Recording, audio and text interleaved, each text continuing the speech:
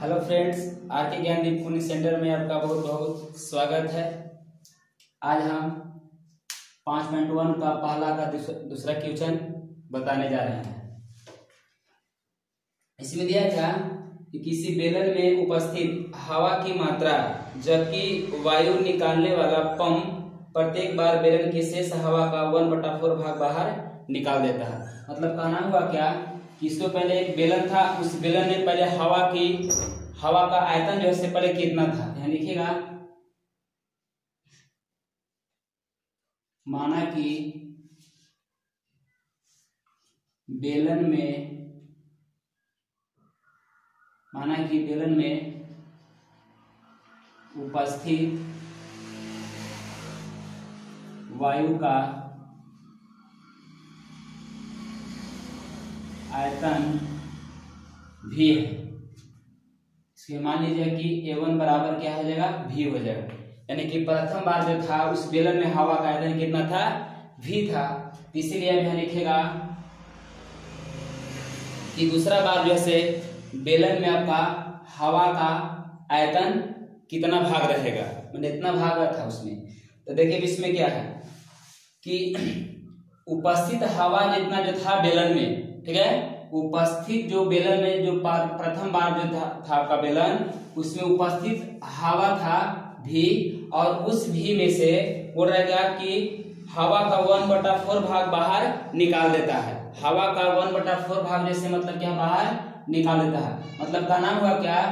कि वन बटा फोर भाग जो है से हवा को क्या है? निकासित करता है। तो शेष भाग जो है मतलब कि दूसरा बार में कितना बचेगा। तो यहाँ इस पे यहाँ लिखेगा, दोनों का अगर एल्सियम लेते हैं, यहाँ कुछ नहीं तो वन है तो वन फोर के एल्सियम कितना हो जाएगा? फोर हो जाएगा। चार से गुना कर देंगे ग्रेड भी में तो कितना हो जाएगा? फोर भी हो जाएगा। वन से गुना कर देंगे वन भी में तो क्या हो जाएगा? माइनस वन भी यहाँ पास भी के घटाव निकाल दिए, ठीक ना? अब यहाँ पास कितना? फोर भी में से वन भी घटेगा तो कितना बचेगा? थ्री भी बाई फोर बचेगा। मतलब के नाम होगा क्या? कि दूसरा बार में जो है क्या है? बेलन में हवा का आयतन जो बचेगा वह कितना बचेगा? तीन बटा फोर भाग बचेगा, ठीक ना? अब उसी प्रकार से देखते हैं, ये शेष के रूप में बचना बचेगा। और फिर इसी शेष में से, अब तीसरे भाग पर निकालिए। तो तीसरे भाग में लिखेगा कि थ्री भी बाई फोर माइनस अब हो रहा है क्या? कि थ्री भी बाई फोर इसी में से जो है आपका फिर हवा कितना निकाला है? वन बटा फोर भाग जो है हवा क्या है, फिर निकाला है। इसमें लिखेगा थ्री भी बाई फोर गुन्ने वन बटा फोर मतलब वन बाई फोर जो है क्या है जो शेष हवा जो बचा है ना, उसी शेष हवा में से फिर जो है, उस पंप के माध्यम से वन बटा फोर हवा फिर निकाली गई है। तो आप शेष इसमें कितना बचेगा? तीसरा भाग में जो है, कि तीसरा पार्ट में जो है, से आपका हवा फिर शेष कितना बचेगा? या लिखिएगा ए थ्री बराबर three b by four minus three b से गुना होगा वन में तो थ्री भी हो जाएगा, और चार से चार में गुना होगा तो सोलह हो जाएगा तो ए थ्री बराबर सोलह से गुना यानी सोलह चार के लघुत्तम कितना हो जाएगा? सोलह हो जाएगा, चार से भागा देंगे सोलह में तो चार बार में कट जाएगा और चार से गुना कर देंगे थ्री भी में तो चार आई बारह भी हो जाएगा। माइनस सोलह से भागा देंगे सोलह में तो वन बार में कटेगा। वन से गुना कर देंगे थ्री भी में तो कितना हो जाएगा? थ्री भी हो जाएगा। अब इसको घटाएँगे तो कितना आएगा? बारह भी में से थ्री भी घटेगा तो कितना? नाइन भी बाई सोलह बचेगा। ठीक है? अब उसी प्रकार से फिर निकाल लीजिए। चाहे इतने पर इसको जाँच कर लीजिए, ठीक ना? कि मतलब यह जो आपका जो पद जो आया, वो अब एपी में है या नहीं है? इसको यहाँ लिखेगा।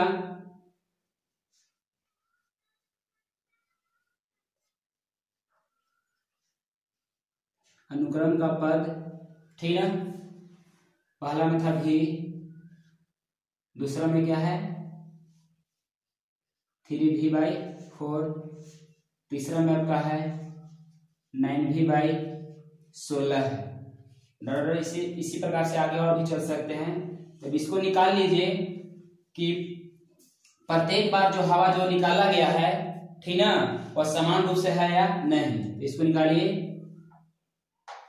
डी यानी कि अंतर इसको निकालिए। इस पदों का अंतर मतलब समान है या नहीं है? तो क्या करते हैं कि दूसरा पद माइनस पहला पद। थ्री भी माइनस फोर माइनस भी है। वन है डी बराबर फोर वन के लघुत्तम कितना जाएगा? फोर हो जाएगा। वन से क्या है? गुना कर देंगे थ्री भी में तो डेट हो जाएगा थ्री भी और चार से गुना कर देंगे भी में तो चार भी मतलब भीम के घटाव निकाल दिए यहाँ पास। तो डी बराबर आपका हो जाएगा थ्री भी में से फोर भी में से थ्री भी घटेगा तो माइनस भी बाई फोर बचेगा। अब इसको भी निकाल लीजिए, आगे इधर। चलिए, तीसरा पद माइनस दूसरा पद मतलब कि तीसरा पद में से दूसरा पद को घटाते हैं तो क्या आएगा?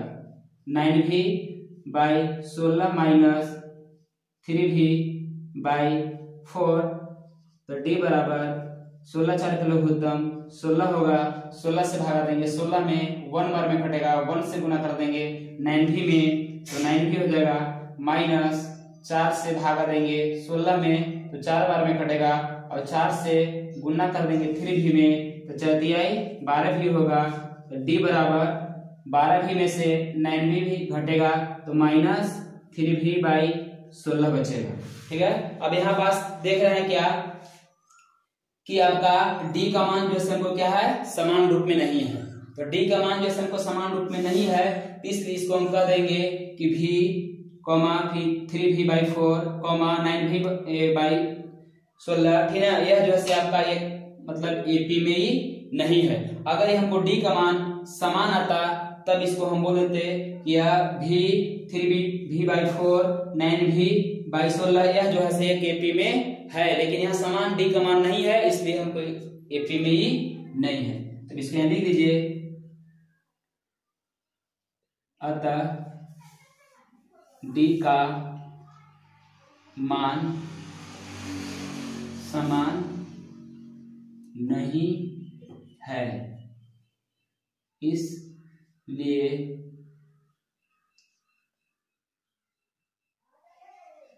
अनुक्रम का पद एपी में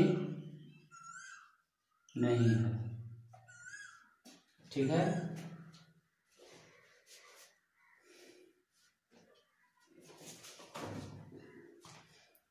चलिए दूसरा क्वेश्चन अब देखा जाए, इसको मिटा देते हैं।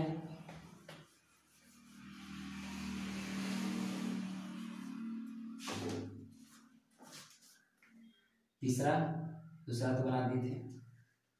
इसमें बोला कहा कि प्रत्येक मीटर की खुदाई के बाद एक कुआँ खोदने में आई लागत, जबकि प्रथम मीटर खुदाई की लागत डेढ़ सौ रुपया है और बाद में प्रत्येक मीटर की खुदाई की लागत पचास रुपया बढ़ती जाती है। बोल रहा क्या कि एक हमको कोई व्यक्ति जैसे मतलब कुआँ उसका खोदना था। तो एक मीटर अगर वह कुआँ खोदता है तो उसका लागत कितना लगता है? डेढ़ सौ रुपया लगता है। और एक मीटर से जैसी जब ज़्यादा अगर कुआँ खोदता है तो उसका लागत पचास रुपया क्या है? प्रत्येक मीटर पर फिर क्या होता है? बढ़ते जाता है। तो बोल रहा है क्या? कि वह कुआँ मतलब कितना तक मतलब खोदा जा, जाएगा वो? देखिए इसमें पहले। लिखेगा कि प्रथम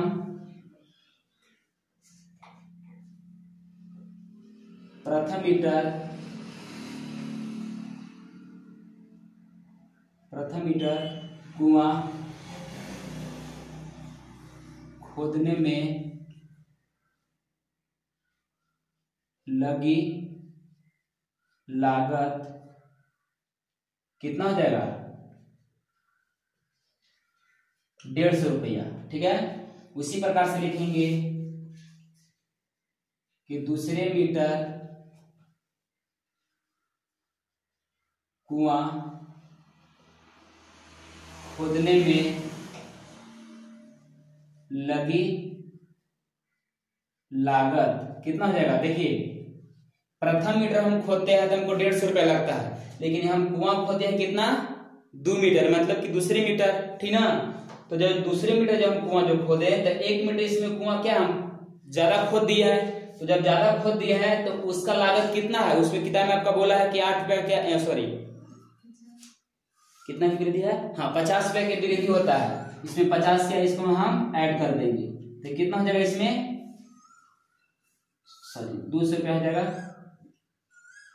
दो सौ रुपया हो जाएगा। उसी प्रकार से लिखेंगे कि तीसरे मीटर तीसरे मीटर मारते मतलब लिखा गया तीसरे मीटर खोदने में लागत कितना लगेगा? तो देखिए, दो मीटर का तो आपको सर दे दिया है कितना? दो सौ। और इसी में जस्ट फिर क्या हम जब तीसरे मीटर खोद दिए हैं तो एक मीटर क्या इसमें हमको ज़्यादा खोद दिए हैं कुआँ तो दो मीटर का तो हमको दो सौ रुपया है। और एक मीटर इसमें अतिरिक्त खोदा गया है तो उसका दाम कितना है? पचास रुपया है। यानी कि तो इसको हो जाएगा कितना? अढ़ाई सौ रुपया इसमें हो जाएगा। ठीक है? चौथे मीटर खोलते हैं। तो इसका लागत कितना लगता है? तो अट्ठाईस रुपया। और देखिए, तीन मीटर का लागत कितना है? अट्ठाईस रुपया है। ये हम चार मीटर खोद दिए हैं तो एक मीटर जो खोदे हैं, वह क्या है? एक अतिरिक्त है। तो इसका लागत कितना था? पचास रुपया है। अब इसको यहाँ हो जाएगा कितना? तीन सौ, यानी चौथे मीटर खुदाई का लागत कितना हो जाएगा हमको? तीन सौ रुपया हो जाएगा। लिखिएगा। अनुक्रम का पद, ठीक है डेढ़ सौ, दो सौ, ढाई सौ, तीन सौ डॉलर आगे की ओर से और चल सकते हैं। यानी कि प्रथम मीटर डेढ़ सौ, दूसरे मीटर खुदाई का लागत दो सौ, तीसरे मीटर खुदाई का लागत अढ़ाई सौ, और चौथे मीटर खुदाई का लागत कितना हो गया? तीन सौ रुपया हो गया। ठीक ना? तब इसको जाँच पहले कर ले जाए कि यह जो है संबंध लागत, जो लगा है सब में सॉरी यानी कि इसमें यह आपका पद जो बन गया है वो तो यह पद जो से आपका एपी में है या नहीं है? इसको पर जाँच करेंगे डी से, यानी कि इसको डिफरेंस निकालेंगे। इन दोनों के बीच डिफरेंस इन दोनों के बीच डिफरेंस इन दोनों के बीच डिफरेंस कितना कितना का है? इसमें लिखेंगे दूसरा पद माइनस पहला पद तो 200 माइनस डेढ़ सौ, बराबर घटेगा तो कितना जाएगा? पचास आ जाएगा। फिर उसी प्रकार से निकालेंगे कि तीसरा पद माइनस दूसरा पद। तो अढ़ाई सौ माइनस दो सौ। बराबर में इसका भी कितना जाएगा? पचास आ जाएगा। डी बराबर फिर इसी प्रकार से आगे निकालेंगे कि तीसरा पद माइनस सॉरी चौथा पद माइनस तीसरा पद। तो तीन सौ माइनस अढ़ाई सौ। बराबर इसका भी कितना जाएगा? पचास आ जाएगा। यहाँ देखने का आपको मिल रहा है क्या? कि प्रत्येक पद में जो है, सर का कितना कितना का वृद्धि हुआ था? पचास पचास रुपया का वृद्धि हुआ था। तो इसलिए इसको हम कह देंगे कि आपका अनुक्रम का पद जो है, से एपी में है। ये लिखिएगा। अतः डी का मान समान है। इसलिए यह पद एपी में है। ये हो गया आंसर ठीक है? चलिए, अगर अच्छा अगर लगे तो वीडियो को इसको लाइक ज़रूर कीजिएगा।